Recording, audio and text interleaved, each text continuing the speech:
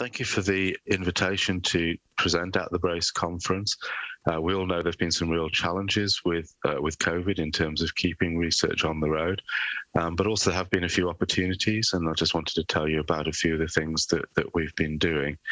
Um, in terms of co- the COVID related dementia or cognitive health focus thing, um, we've been running a COVID digital nursing home training program, and I'll tell you a little bit more about that. Uh, as part of our online Protect platform, we've also been uh, further validating a, a self administered neuropsychological uh, computerized uh, package. Um, and in addition, uh, we've been running a virtual um, RCT of vitamin D. So I'll just tell you a little bit about those about those those projects. Um, so to start with, uh, obviously we know there's been a lot of challenges for care homes during COVID. Uh, the threat directly to the health of residents and staff. Um, there's been a big increase in mortality for residents, partly due to COVID outbreaks, but also due to uh, not failure to access other treatments and support that are needed. A lot of illness and sickness of staff, stress and burnout for staff, um, more limited support from specialist services, and in isolation, perhaps not the networking that care homes have, are usually had, but also again reverting to increased use of antipsychotics and other psychotropics over this period. So it felt like there, there was some urgent problems that, that needed tackling to try and better support care homes. One of the programs that we've undertaken in the past is a, is a program called WHELD, which is a person-centered care training program with personalized activities, uh, where we've trained that in person to enable dementia champions to then train it within care homes and, and deliver the program. And we've evaluated that in several RCTs. The largest was a nine-month RCT. You can see the results here on the screen, uh, demonstrating that the intervention uh, significantly improved quality of life and neuropsychiatric symptoms in residents with dementia compared to treatment as usual, uh, also improved the quality of care and actually cost less than, than usual care. But that was delivered in person. Uh, and what we've really been thinking about to try and allow this to be implemented more widely is can this be adapted into a, a digital format? So initially, uh, one of my colleagues, Joanne McDermid, led uh, a study looking at a, a, digital version of WHELD with virtual coaching, uh, a relatively small pilot study in uh, just over 20 care homes. And that was shown again that, that over four months of delivery, uh, it, there were significant benefits with the package compared to treatment as usual. Um, so this was kind of all very promising. Um, and during COVID, we've looked at how we can adapt that further. So, as part of the COVID Rapid Response Funding Programme from UKRI, um, we put forward a trial which was uh, fortunately funded to look at further augmenting this, this digital platform with virtual coaching to include some additional platforms for virtual networking and uh, sharing of best practice between care homes um, and to deliver that in an RCT that was evaluating it over four months compared to, to treatment as usual. Um, and we were aiming for about 150 care homes taking part in the program. So this is just a, a look at sort of what some of those materials uh, look like. Um, and hopefully uh, we've been able to improve the digital materials from our pilot. We field tested it already as part of this program in 160 care homes and had good responses, and that's allowed us to to further uh, adapt this and to change it into uh, really small chunks so that it's very workable, it's very visual based, so it doesn't rely an awful lot on language skills. And so far, it seems to have been very accessible for for care staff and well received.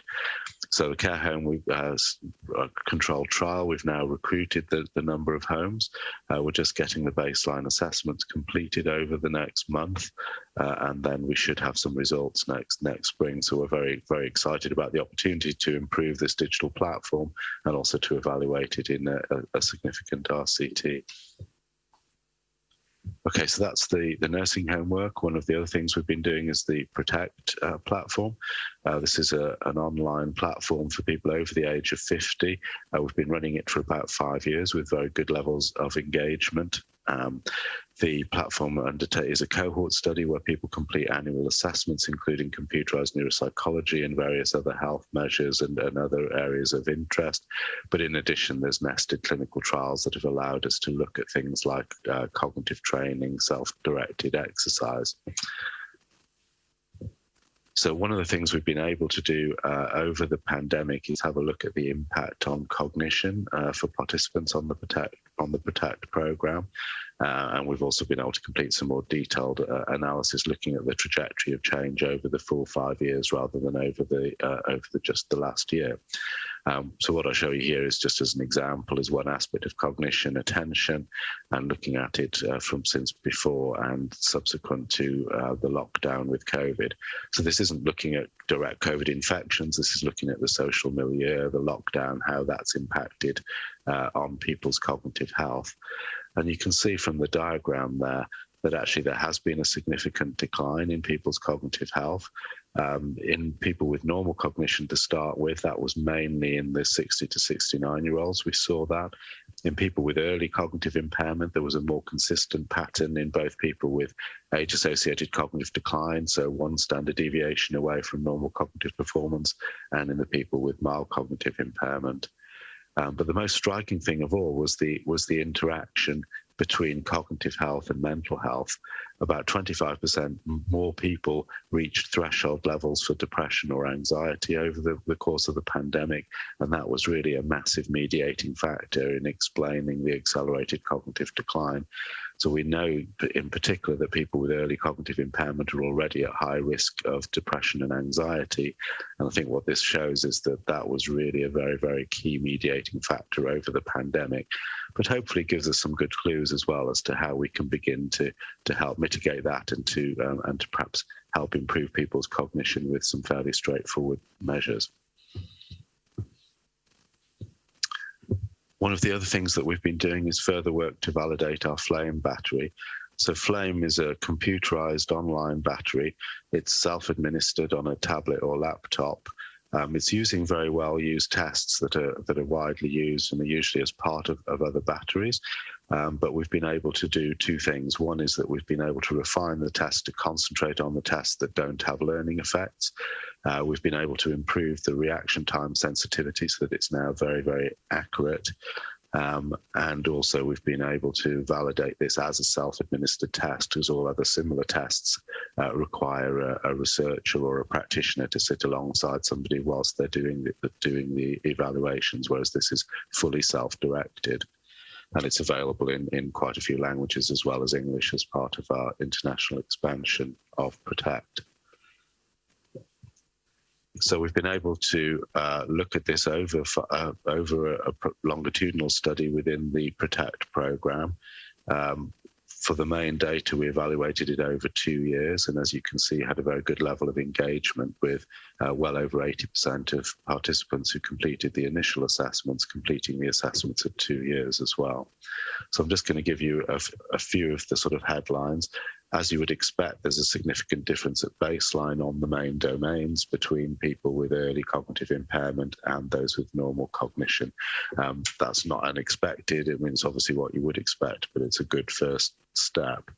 What's perhaps more important is looking at the uh, the longitudinal change, and you can see that there's actually very reliable uh, and consistent uh, change over time uh, on all of the key domains and on the total composite score, um, both between people with with um, stage two, so that would be equivalent to age-associated cognitive decline, and stage three preclinical dementia, which would be equivalent to MCI.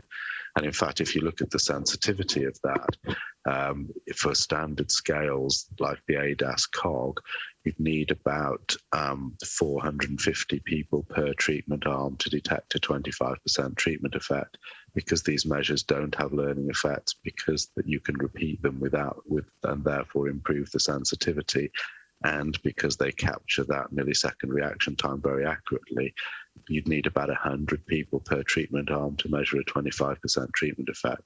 So this can be self-administered at home, giving a lot more flexibility with how we deliver trials, particularly during COVID, but also it, it could achieve a really significant step change in how we run uh, phase two trials by reducing the required sample sizes for these studies.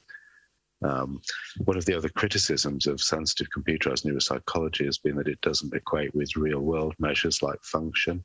Uh, but the other thing we've been able to show as part of this is that actually the changes in cognition correlate really well with the changes in instrumental activities of daily living. again giving confidence that this is a, a meaningful measure that is associated with functional as well as cognitive measures.